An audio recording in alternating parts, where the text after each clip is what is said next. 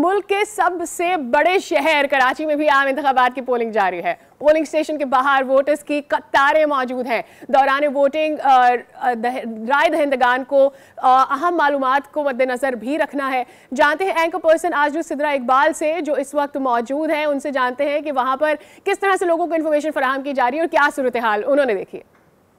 जी मेरे पीछे आप देख सकते हैं लेडीज़ की line lot of them are here as well wave भी कर रहे थे कुछ लोग, लेकिन अब आपको दिखाती हूँ कि इसी पोलिंग स्टेशन में, जो कि एक बहुत छोटा सा पोलिंग स्टेशन है, मर्दों के लिए भी दो कमरे मुख्त किए गए हैं. Let me show you the line for man ये देखिए ji this is the same station this is Ali Academy and you can see it's a huge line and this turn out is early on ये इसी इलाके में जब पहले भी बात की गई तो इतनी बड़ी तादाद में टर्न आउट इस घंटे में मैंने कभी नहीं देखा because this has been my place for the last many years three times इस दफ़ा के टर्न आउट के बारे में क्या कहेंगे? ज़्यादा तादाद है नॉर्मल है ऐसे ही होता है। नहीं तादाद तो वो अच्छी है लेकिन अरेंजमेंट नहीं है। देखें अभी एक ही क्यू है और हम तकरीबन लास्ट 45 मिनट से यहाँ खड़े हैं और अभी पता नहीं एक डेढ़ घंटा और लगेगा। तो जी अगर आपकी उम्र 50 साल से ज़्यादा है सीनियर सिटीजन हैं उनको इस लंबी कतार में मैं आपके अपने पीछे दिखाती हूँ ये ख़वान की लाइन है।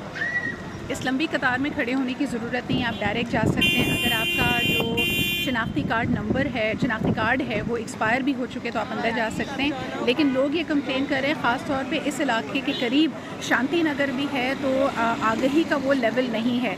मैं बहुत सारे जब वोटर्स से बात कर रही हूँ तो ख़वान इस बारे में कन्फ्यूज़ हैं कि पोलिंग शीट को आपने फोल्ड कैसे करना है, जिसकी वजह से एक बहुत बड़ा ख़तरा या ख़दशा मौजूद है कि आपका वोट ज़ाया हो जाएगा। मेक श्योर sure कि आप जिस भी कैंडिडेट के सिंबल पे स्टैम्प करें आप उसी के नाम को उसके ऊपर फोल्ड करें, क्योंकि हमेशा की तरह आसान नहीं बनाया गया है। लंबा सा एक ही लाइन में, एक ही दो कॉलम्स के साथ वाला पोलिंग शीट नहीं है। इस दफ़ा काफ़ी कन्फ्यूज़न है सो मेक श्योर कि आप अपनी पोलिंग शीट को सही फोल्ड करें and get hair fast Pakistan.